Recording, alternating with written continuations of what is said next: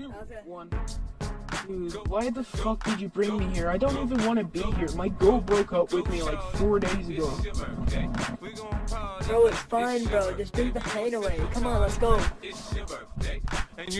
Yeah, yeah, trust me, bro. Trust me, bro. Hey, bro. Luckily, DoorDash has a new feature where you can order beer directly from the place. Look,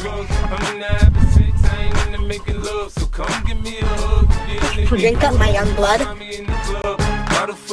Look, mommy, I got the getting to take the. I'm into having sex, I ain't into making love. So come give me a hug, get into getting rough. When I pull up out front, you see the Benz on dub. Uh-huh. When I roll 20 deep, it's 29s in the club, niggas. Oh! Like Eminem and the hoes, they wanna fuck, but homie ain't nothing changed, hold down.